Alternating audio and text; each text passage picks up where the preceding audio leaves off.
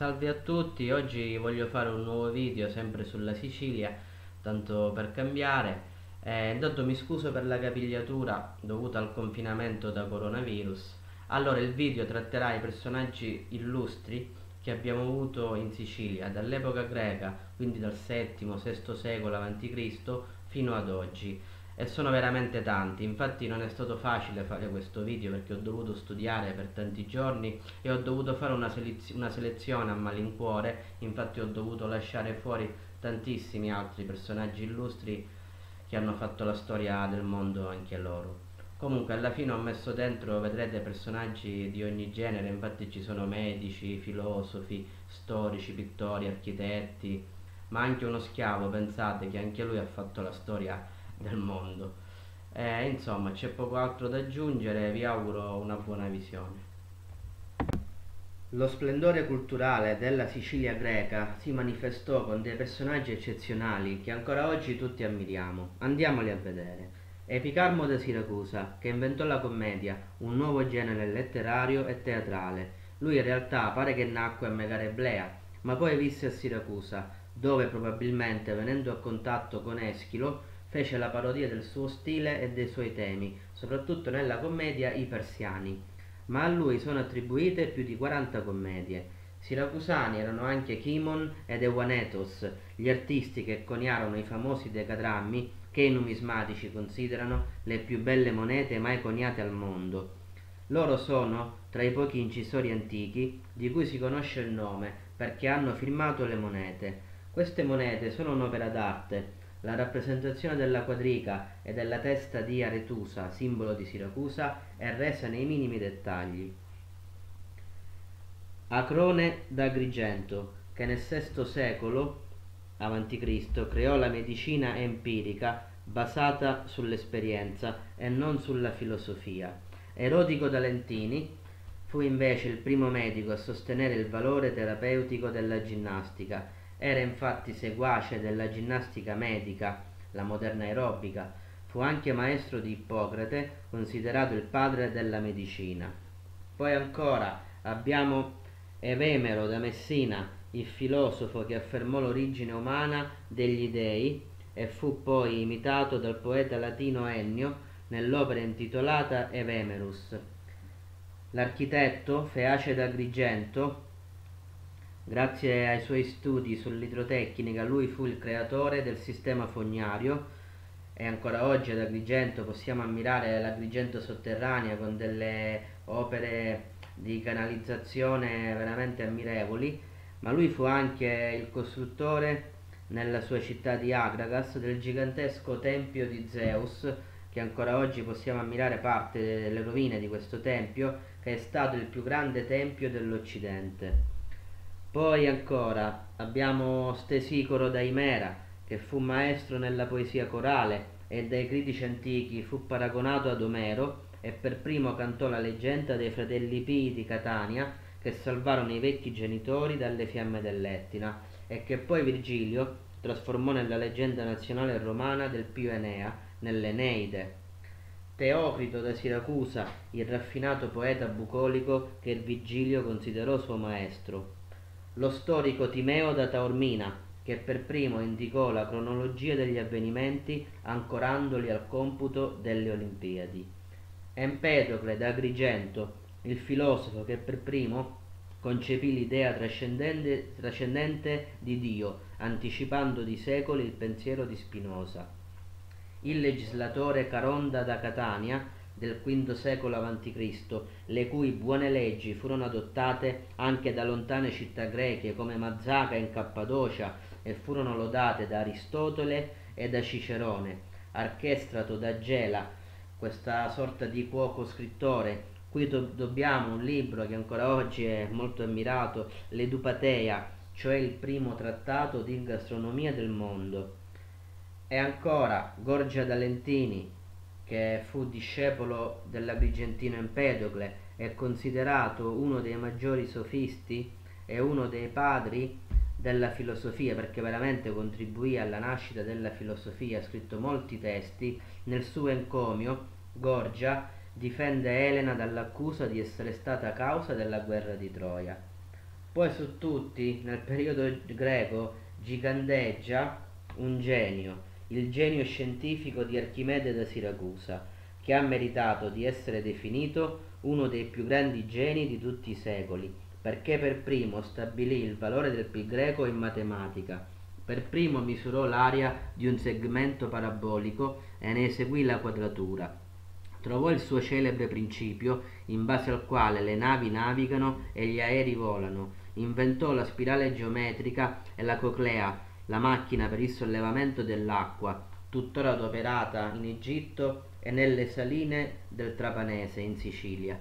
Per primo intuì le regole del calcolo infinitesimale e per difendere la sua Siracusa assediata dai Romani inventò macchine talmente straordinarie che per testimonianza degli storici antichi i Romani credevano di combattere con degli dei e non con degli uomini e fu anche per questo che la guerra tra Roma e Siracusa durò più di due anni. Passiamo adesso all'epoca romana. I Romani, grazie alla conquista della Sicilia, conobbero l'arte e la civiltà greca e l'isola divenne anche il granaio di Roma. Prima di parlarvi di qualche personaggio siciliano di quell'epoca, però vediamo cosa dissero due romani illustri sulla Sicilia. Catoni, ad esempio, quando a Roma arrivò la notizia della presa di Siracusa, al Senato fece un discorso e disse che la presa di Siracusa sarebbe stata una calamità perché dopo l'arrivo a Roma del bottino di guerra i romani non avrebbero più pensato all'arte della guerra o all'arte di lavorare ai campi, ma semplicemente all'arte. E ancora Cicerone, nella sua ringa contro Verre, che depredò le città siciliane, disse ai giudici Avete sempre sentito dire che la città di Siracusa sia la più grande e la più bella delle città greche, e o giudici proprio come dicono. Del periodo romano, per motivi di sintesi narrativa, eh, ho scelto solo due personaggi siciliani di quell'epoca, che però sono agli antipodi, infatti uno è uno storico e uno è uno schiavo. Allora, iniziamo con lo storico, Diodoro Siculo da Agira, è stato uno dei più grandi storici di sempre e tutt'oggi è un punto di riferimento per gli storici moderni Fu infatti l'autore di una monumentale storia universale intitolata La Biblioteca e Storia, scritta anche grazie ai suoi lunghi viaggi in Europa e in Asia. Diede un contributo notevole alla cultura romana. Proprio Diodoro Siculo eh, ci ha tramandato tantissime storie, tra cui quella dello schiavo Euno di Enna. Le avventure di questo schiavo Euno sono veramente avventure da film, perché che precedono tra l'altro di molto quelle di Spartaco. Infatti Euno era uno schiavo siciliano che guidò la prima guerra servile, cioè la prima rivolta degli schiavi della storia romana che scoppiò nella città di Enna nel 136 a.C. Per qualche anno fondarono una, una sorta di staterello questi schiavi nella Sicilia centrale con Enna capitale e lui divenne re di un esercito di schiavi di circa 200.000 uomini, esasperati dalle condizioni umane in cui lavoravano. Le sue gesta, qualche anno dopo, ispirarono anche la seconda guerra servile, sempre in Sicilia, nel 102 a.C. e poi quella di Spartaco in Campania nel 73 a.C. Passiamo adesso all'avvento del cristianesimo. In Sicilia dovete sapere che ci fu la prima sede europea della nuova religione cristiana. Infatti c'è una scritta che ricorda questo evento nell'odierna cattedrale di Siracusa, dove appunto a Siracusa si costruì la prima chiesa in Europa. Inoltre la Sicilia cristiana comunque diede tantissimi martiri alla nuova fede. Su tutti voglio ricordare due sante ancora oggi molto venerate, Sempre a Siracusa abbiamo Santa Lucia, eh, la festa del 13 dicembre, mentre a Catania abbiamo Sant'Agata, eh, la festa è, si svolge tra, tra, il 3 e il 5 febbraio ed è la terza festa religiosa più grande al mondo. Entrambe le due sante, Agata e Lucia, sono nominate nel canone della Messa. Eh, oltre a numerosi santi, a martiri, a beati, a missionari, la Sicilia poi nel periodo bizantino ha dato alla Chiesa ben cinque papi.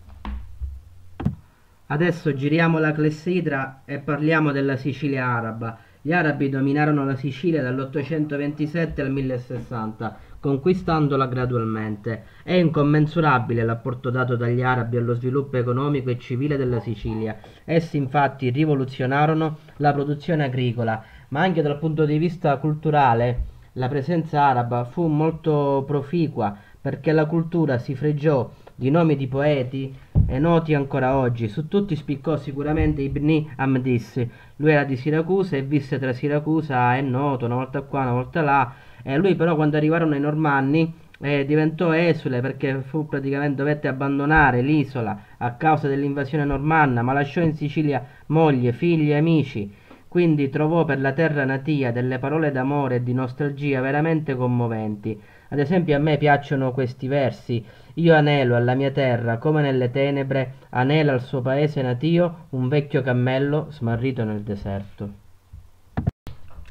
Adesso facciamo ancora un altro giro di clessidra e arriviamo alla Sicilia normanna, questo splendido periodo. Infatti con i normanni la Sicilia si fregiò di uomini illustri e di monumenti insigni che ancora oggi noi tutti ammiriamo grazie soprattutto ad alcuni re molto illuminati, veramente su tutti dobbiamo ricordare Ruggero II che fondò nel 1130 il regno di Sicilia con capitale Palermo.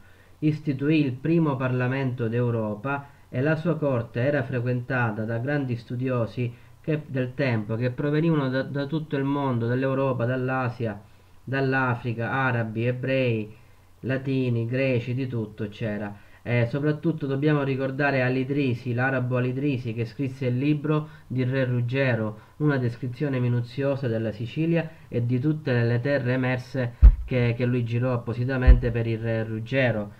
Ma poi questa corte di Re Ruggero a Palermo era frequentata da alcuni studiosi siciliani eh, che traducevano testi di greci del tempo, sono stati i primi a tradurre dei libri greci importantissimi in latino, in Europa i primi sono stati, e quindi dobbiamo ricordare il grecista palermitano Eugenio, che lui tradusse l'ottica di Tolomeo dal greco al latino, poi sempre il grecista catanese Enrico Aristippo, che tradusse le vite dei filosofi di Diogene Laerzio, l'astronomia di Tolomeo, la meteorologia di Aristotele, nonché importanti dialoghi di Platone, e fu chiamato il Grecus Interpres per eccellenza dal dotto inglese Giovanni di Salisbury.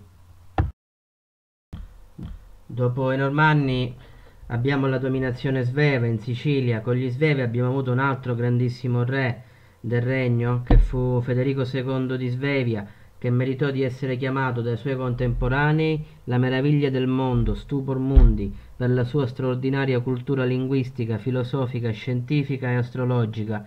Lui stesso infatti scrisse anche, avvalendosi di altri studiosi, un libro che ancora oggi viene molto studiato e molto interessante, è molto interessante, è un trattato scientifico sulla caccia col falcone, perché lui andava a caccia col falcone, che era una pratica a cui si dedicavano solamente i ricchi dell'epoca. Eh, questo libro si chiama Il De Arte Venandi Cumavibus. Eh, ma comunque la, la, sua corte era veramente un crogiolo di, di, ricchezza culturale. Per esplicita testimonianza di Dante e di Petrarca, alla sua corte di Palermo nacque la letteratura italiana con la scuola poetica siciliana tra tutti si contraddistingue in questa, si contraddistinse in questa corte siciliana soprattutto Jacopo D'Alentini, eh, che è considerato l'ideatore del sonetto e uno dei padri della lingua italiana. Allora, dell'epoca spagnola voglio intanto ricordare due grandissimi storici. Il primo Michele da Piazza, un cronista che nella sua cronica Fu il primo a descrivere la peste nera che desolò la Sicilia e l'Europa nel 1348 e che fa da sfondo al Decameron di Boccaccio e al canzoniere di Petrarca.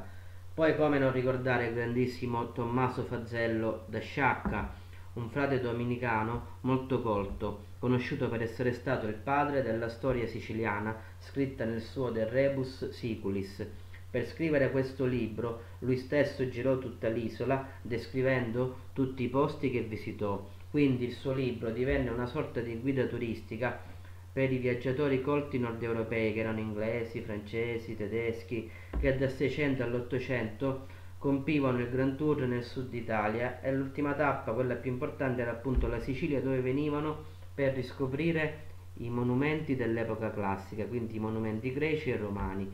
Tutti questi viaggiatori viaggiavano con il libro del Fazzello in tasca.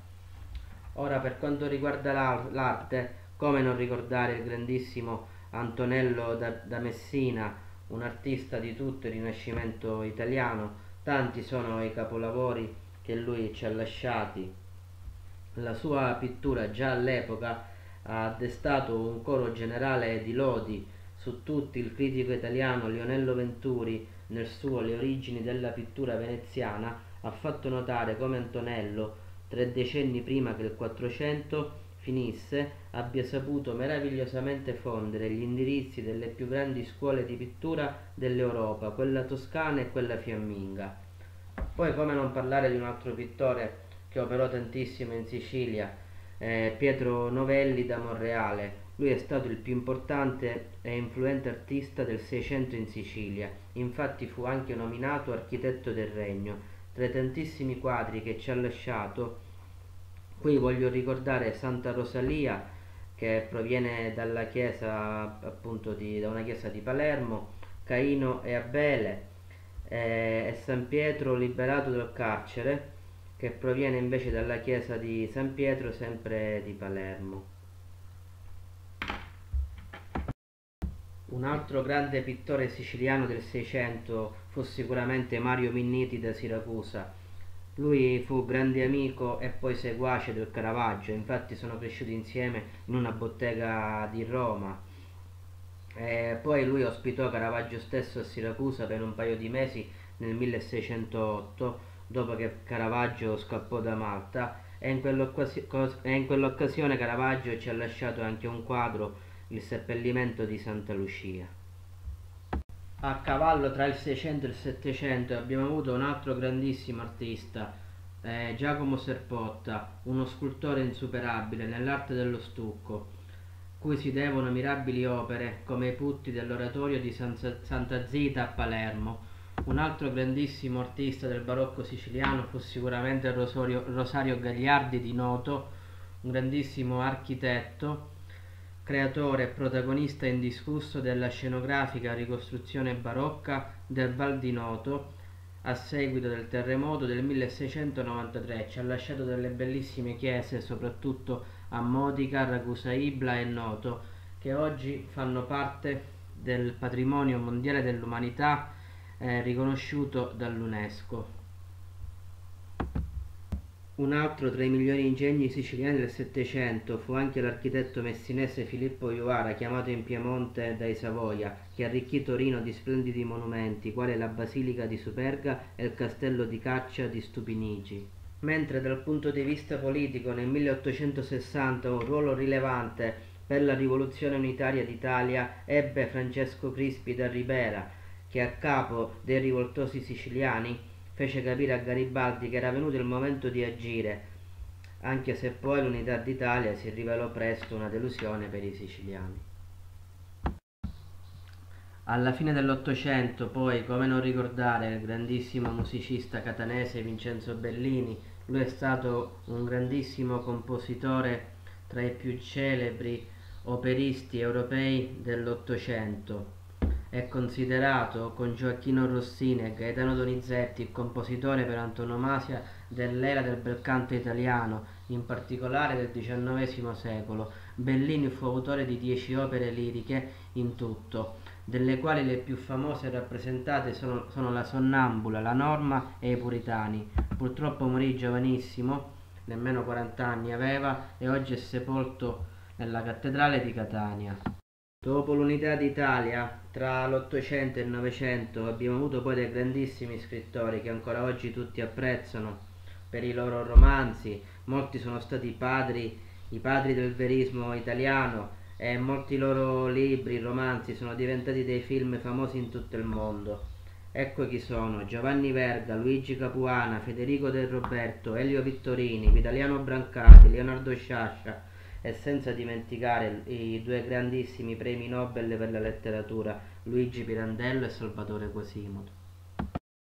Infine, come non ricordare Andrea Camilleri, a cui va un mio complimento personale molto speciale perché ha portato lustro alla Sicilia con le sue opere, i suoi romanzi, su tutti il commissario Montalbano, romanzo da cui è stata tratta la fortunata serie televisiva famosa in tutto il mondo e che tanti turisti fa arrivare in Sicilia. Mentre nel 1988 un prestigioso riconoscimento internazionale è andato all'allora giovane regista cinematografico Giuseppe Tornatore, siciliano di Bagheria, per il suo film di ambiente siciliano Nuovo Cinema Paradiso, girato in Sicilia, con attori quasi tutti siciliani, tra cui il bravissimo bambino Salvatore Cascio. A lui quindi venne conferito negli Stati Uniti l'ambito riconoscimento dell'Oscar per il migliore film straniero, che era onore che non toccava all'Italia dal 1974, quando fu premiato la Marcord di Federico Fellini. Infine voglio finire questo video sui personaggi illustri siciliani nominando due grandissimi giudici, Giovanni Falcone e Paolo Borsellino, che grazie al loro operato, al grande lavoro, veramente con passione e con diligenza, hanno fatto tanto per sconfiggere una piaga come la mafia. Ed ecco cosa hanno fatto i nostri cari siciliani nel corso della storia. Hanno veramente dato un contributo notevole a tutta l'umanità intera. E ci tenevo a sottolineare ancora una volta che ho lasciato fuori da questo video tantissimi altri siciliani illustri che meritavano anche loro di essere in questo video. Mi dispiace aver messo pochissime donne, solo due se non sbaglio, Santa Lucia e Sant'Agata ma anche in Sicilia abbiamo avuto delle donne veramente molto interessanti che anche loro hanno contribuito alla storia dell'umanità. Magari chissà qualche volta farò un video dedicato solamente alle donne importanti della Sicilia. Poi ci tenevo a sottolineare anche che per fare questo video ho preso spunto da tanti libri anche da fonti online ma soprattutto il libro di Santi Correnti questo grande storico siciliano di riposto.